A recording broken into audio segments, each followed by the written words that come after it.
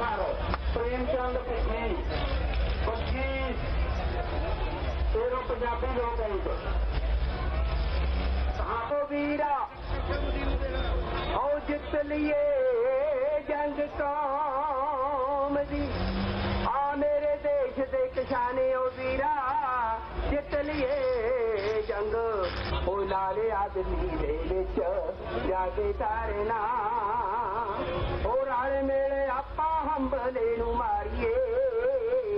ਰਾਲੇ ਮੇਲੇ ਆਪਾਂ ਹੰਬਲੇ ਮਰੀਨਾ ਫਿਕਰ ਜਿੱਤ ਜੰਗ ਜਾਵਣਾ, ਉਹ ਦਿੱਲੀ ਵਿੱਚ ਜਾ ਕੇ ਤਾਰੇ ਨਾ ਹਲਾਵਣਾ ਸਾਡਾ ਹੈ ਨਾ, ਉਹ ਸਾਡਾ ਹੈ ਨਿਸ਼ਾਨਾ ਜੰਗ ਜਿੱਤ ਜਾਵਣਾ। ਓ ਆ ਮੇਰੇ ਦੇਸ਼ ਦੇ ਕਿਸਾਨ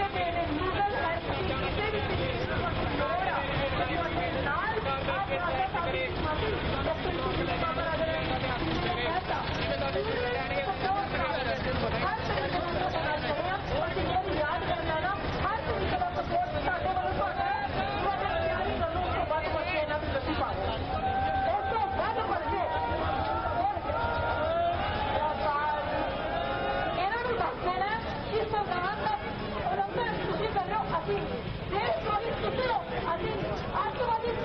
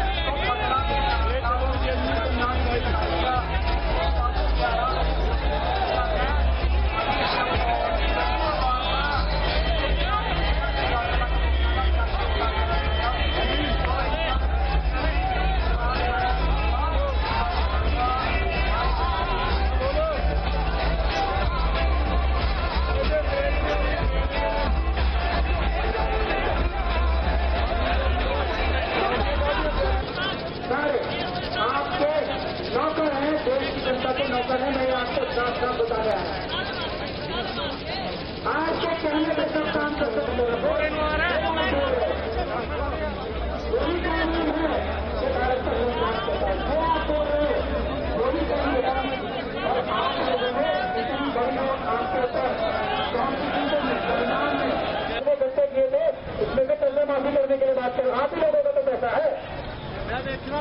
بھائی دیش کی جنتا کا پیسہ ہے نا۔ یہ کہہ رہے وقت کا قرضے معاف کرو۔ ادانی امبانی کے نہیں، جو ہمارے پیسے چرائے ہیں، آپ کے پاس سازش کر کے واپس لے کے کسانوں کے قرضے معاف کر دو۔ آپ کی حیثیت بھوجنل بھاشا نہیں دے رہا۔ میں آپ کو ایک قانونی بات بتا رہا ہوں۔ ان سے لو اور آپ کو دو۔ پیسے کی کمی بتا رہے ہیں یہ آپ لوگوں کو بتائیں گے۔ وہ تو نوکر ہیں آپ کے۔ یہ قانونی بات ہے۔ سرکار کی کی پد پہ بیٹھے ہوئے۔ کھٹا صاحب تو یہ جو آپ کے اوپر گولیاں چل رہی وہاں کے ڈائریکٹر جنرل آف پولیس اور امت شاہ صاحب جو وہاں بیٹھ کے مانیٹر کر رہے ہیں۔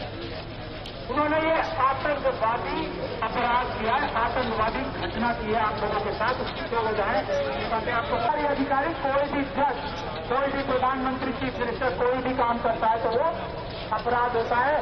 آپ کے اوپر گولیاں چلانا، آپ پیسفل جا رہے ہیں ہریانہ میں تو آپ کا کوئی رکنے کا کوئی مقصد بھی نہیں ہے۔ آپ نے پرپوز بھی نہیں کیا، دلی جا رہے ہو۔ یہ ہریانہ سرکار اس میں کون ہے؟ پنجاب میں سے جو آرٹیکل ہے سنویدھان میں، اس کی ذمہ داری پوری کرنے میں کی جو آپ کو روکتے ہیں، وہ اپرادھ کرتے ہیں اور یہ آتنکوادی اپرادھ کے ہیں میں یہ بتاتا ہوں۔ پہلے چیز ہے یہ ایکسپائر اور یہ انترائز یہ جو یہ ساؤنڈ جو چلا رہا ہے نا، یہ انترائز ہے. یہ استعمال نہیں کرنے کی یا دیش کے پارلیمنٹ نے بنایا ہی نہیں۔